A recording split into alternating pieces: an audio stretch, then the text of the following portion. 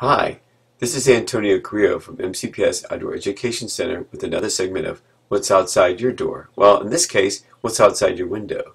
One of the best ways to look at animals, especially birds, is to put out bird feeders and bird baths. So we're going to look at some behavior today at our feeder to, at my backyard. So here's a beautiful eastern bluebird, just took a bath and now it's kind of fluffing itself up as it dries itself in the sun. Here's one of the woodpeckers in our area called a red belly. Even though it has a red head, it has a red spot on its belly.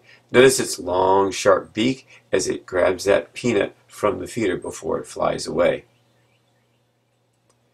Here's one of our sparrows of the area. This is a chipping sparrow. Notice its little short beak as it tries to get the peanut or seeds from the feeder.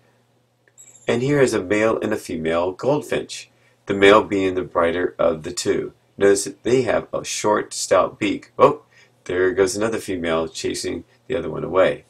Here's another way to get at the feeder. Here's a nuthatch. Notice how it's getting the food by hanging upside down. And that's how it climbs a tree as well, before it gets chased off by a male and a female house finch. Other behavior we can see is just like this one. What is this male doing, the brighter of the two, with the female? Is it feeding it because it's nice? It is mating season, you know. So birds are building their nest and gathering food to feed their young. Notice also how they're using the bird bath to get a drink of water as well.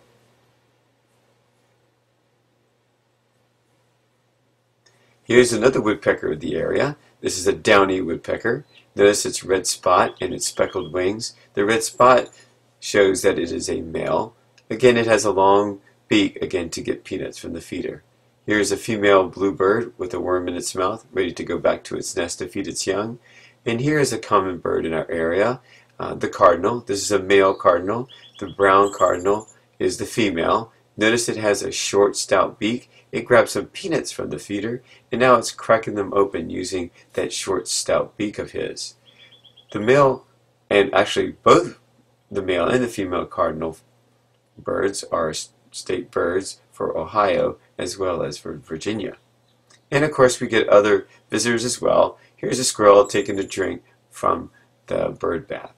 So next time you look outside your back door, see what kind of birds are flying around.